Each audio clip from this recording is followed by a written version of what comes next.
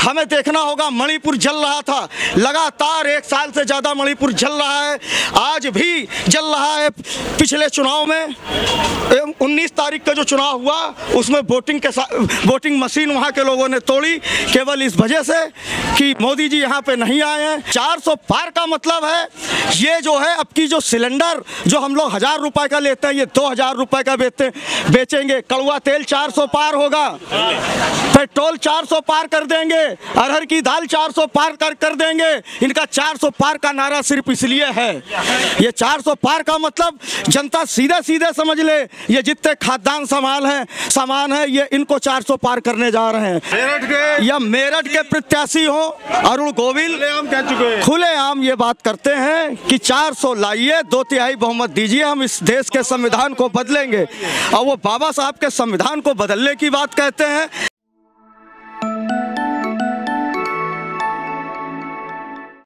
भाजपा के प्रत्याशी लगातार 400 पार का नारा दे रहे हो इसलिए दे रहे हैं कि संविधान को खत्म करेंगे।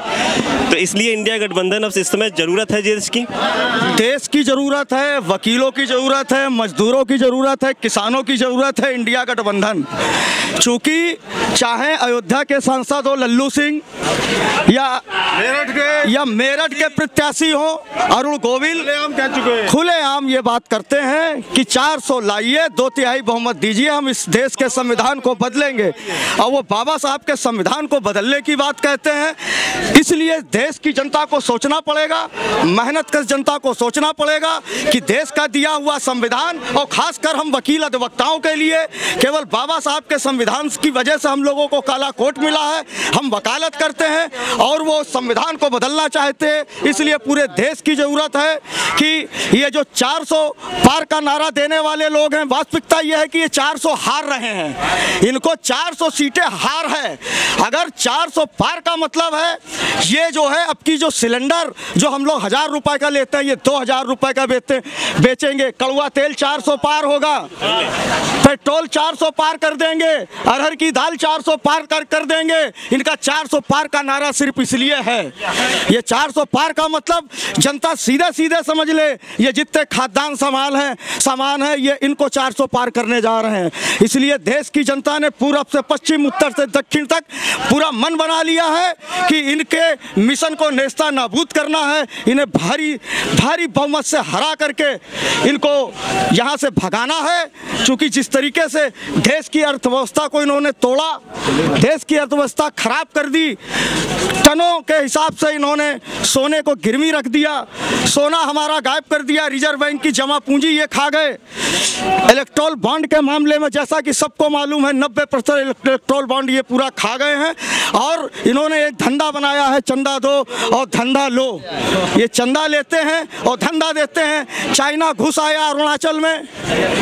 इनकी बोलती बंद है, घिग्गी बंद है। सोनम वांगचू 21 दिन धरने पर बैठे रहे। इनकी घिग्गी बन गई। इन्होंने लद्दाख के अंदर इंटरनेट सेवाएँ बंद करा दी।